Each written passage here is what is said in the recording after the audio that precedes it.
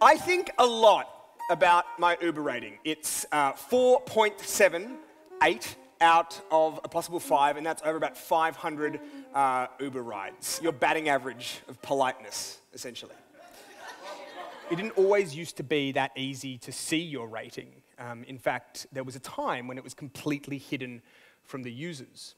For a certain type of person, uh, the idea of there being a number out of five existing somewhere in the world next to your name that you can't see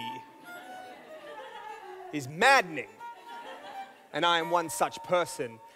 And so I spent literally months trying to work up the courage to ask an Uber driver what my rating was. Um, but the problem with that is that if you ask an Uber driver what your rating is, uh, you potentially annoy them, which affects your rating. You can't observe the result without changing it, and scientists call this phenomenon annoying. and eventually, uh, I gave in. And I was in Annandale, and I decided that the next Uber I got, uh, I was going to flat out ask the driver. I was going from Annandale to Chippendale, which is a uh, journey of about eight minutes. And during that eight minutes, I was going to ask flat out for my rating. And so Daniel arrived in his Lexus BMW. He was 60 years old.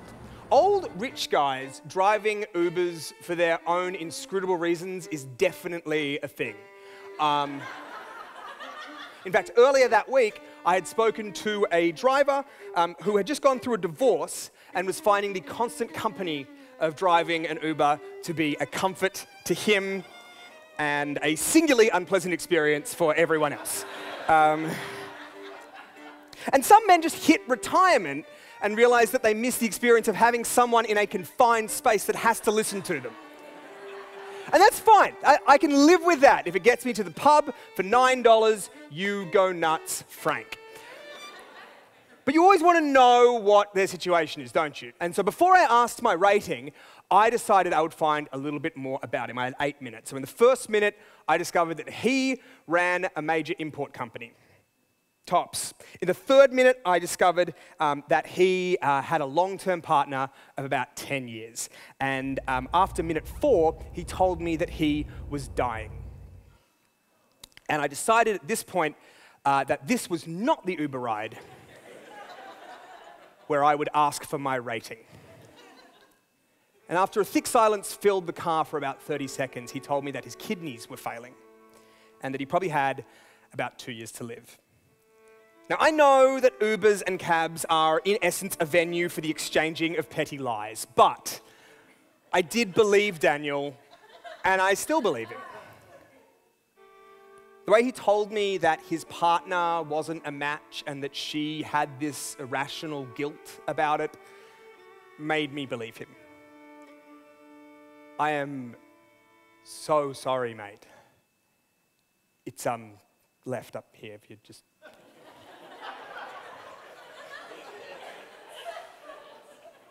Map says, but it's not. It's a new one way, just, yep, great. And when I was about three and a half minutes from home, he said, I had a donor though. And I said, Oh. And he said, Yeah, I put it up on Facebook. I was offering 50K for a kidney, and that's a good price. Now, I had no reference point for this. Um, 50,000 could be a bargain, it could be an extravagance, I don't know. I don't follow the fluctuations of the kidney market. Uh, and I said, But you found somebody? And he said, Yes, we were a match and we're ready to go. And then the police found out. And it is illegal to buy somebody's organs. And that much I did know. anyway, I got a warning and they let me off. He said, next time it could be a prison sentence. And now we're about three minutes to home. I'm going to find somebody though, Daniel continued. I'll just slip them the 50K if we're a match. That's the plan for now. And then, in an instant, everything made a kind of horrible sense. A captive audience for anywhere from 10 to 30 minutes over and over and over again until he found someone for whom the idea of 50k for a kidney wasn't such a bad deal. And that's why this man was driving an Uber. Two minutes to home. And so I filled the silence with a question. Even if you did find someone, what's to say the police won't work out what you've done. You go to prison. And he says, doesn't matter once it's done, does it? They can't take it out of me as a punishment. And I wondered about that. In fact, I still wonder about that. As we were rounding the corner of my street, I reflected that both men in this car started this car ride with an ulterior motive.